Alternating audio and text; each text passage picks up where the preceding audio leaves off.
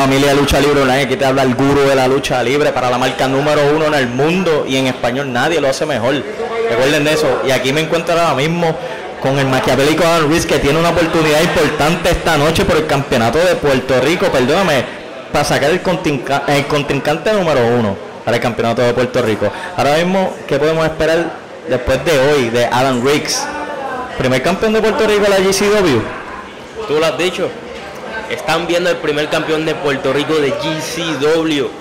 Y simplemente, sencillamente, eso es lo que hay que decir. Esta lucha es una pérdida de tiempo. La próxima lucha es una pérdida de tiempo. ¿Ustedes creen que realmente mis oponentes tienen oportunidad? Ellos no tienen oportunidad. Y créanme, una vez que yo gane esta lucha y gane el título después en el próximo evento, o en el siguiente, o no sea, Ground Zero Wrestling va a tener tres campeones a qué presumir. Y entre ellos va a estar el maquiavélico Adam Riggs. Y díganme qué es mejor que eso. Adam, importante. Vimos el último evento del Espíritu Progressing Dojo, cima de la montaña. Abril 16. Loser Lives Sound. Háblame sobre ese evento.